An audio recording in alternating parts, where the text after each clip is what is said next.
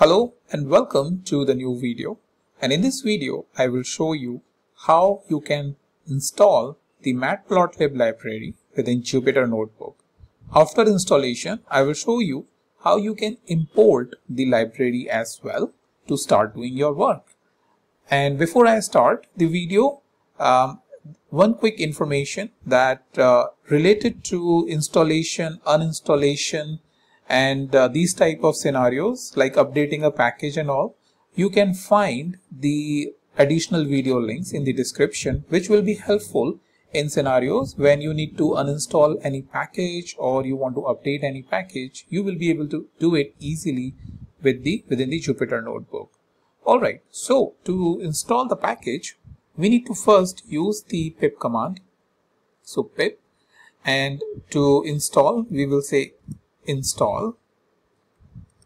Install is the keyword which pip will identify and then it will you will need to ident you will need to mention what library you want. So here we want to install the matplotlib.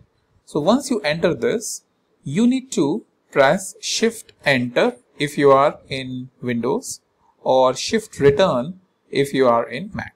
So shift enter when you will press it you will see that it will start doing the processing.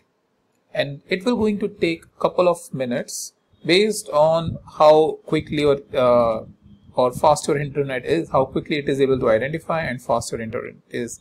So as you can see it uh, it was collecting the matplotlib library dependencies and then it has installed the library successfully installed matplotlib is finally what you are getting it.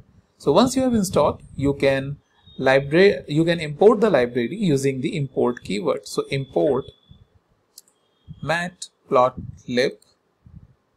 So you can even stop here and press enter and it has executed. And you can start using matplotlib dot any functions or anything which is related to this.